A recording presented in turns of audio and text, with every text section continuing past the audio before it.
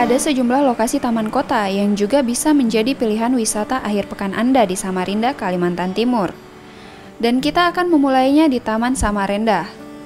Taman Samarinda yang terletak di Jalan Bayangkara, Kota Samarinda ini merupakan salah satu taman kota yang banyak dikunjungi masyarakat yang bermukim di Samarinda. Letaknya yang strategis di tengah kota menjadi daya tarik bagi pengunjung. Taman yang diberi nama seperti nama kotanya ini banyak dikunjungi saat sore hari untuk sekedar menghabiskan waktu bersantai bersama kerabat dan keluarga, atau berolahraga atau bersuah foto dengan latar belakang miniatur seperti menara di Dubai. Lagi ngapain nih Bang di Taman Samarinda? Uh, kalau kita sekarang lagi latihan sepatu roda.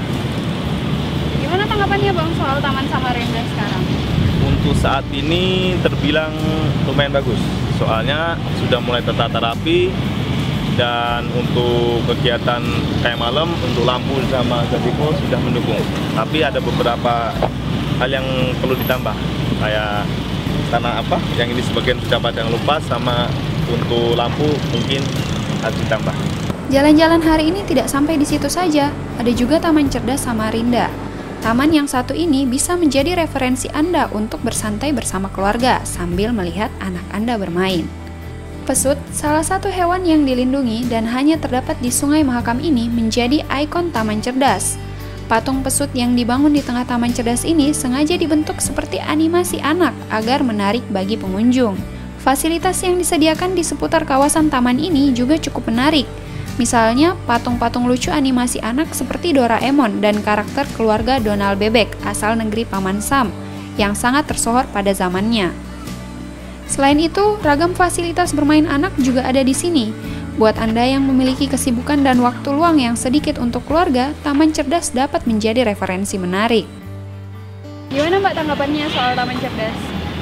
Uh, karena saya baru pertama kali di sini, ya saya lihat di sini rame, banyak anak-anak, terus uh, apalagi hari hari liburan gini, jadi banyak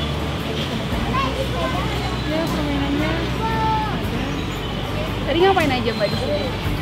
Tadi sebentar ah, kan beli makan dan Fasilitas lain yang menjadi daya tarik adalah amphitheater. Tempat ini biasa dimanfaatkan anak muda untuk sekedar bersantai atau berlatih musik. Setelah lelah bermain dan berkeliling di sejumlah taman di Samarinda, jangan khawatir jika Anda lapar atau haus. Di pinggiran Taman Cerdas juga terdapat pedagang kaki lima yang menjual makanan serta minuman. Harganya pun tak terlalu merogoh kocek yang dalam. Meski demikian, warga berharap pemerintah bisa lebih memperhatikan perawatan taman-taman tersebut agar selalu tampak menarik tentunya. Nah, demikian sejumlah referensi buat liburan akhir pekan Anda bagi yang sedang berada di kota Samarinda, Kalimantan Timur. Juliet Wilhelmina, Ardi Wirya, Kompas Kaltim.